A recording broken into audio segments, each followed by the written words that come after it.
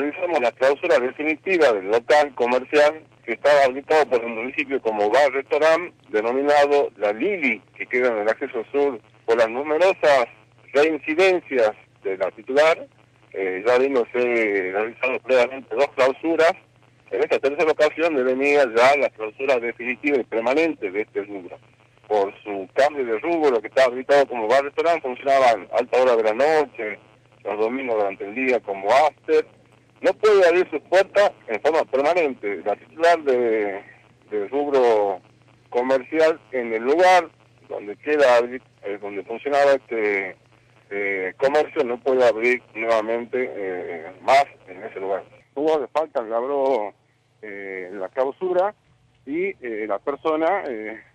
va a ser intimada en el caso de que no pague estas multas por el municipio, eh, lo cual corresponde que en el caso de que quiere realizar algún tipo de trámite para habilitar otro local o, querer realizar algún tipo de, de trámite del municipio, debería tener libre deuda y todas las actas abonadas.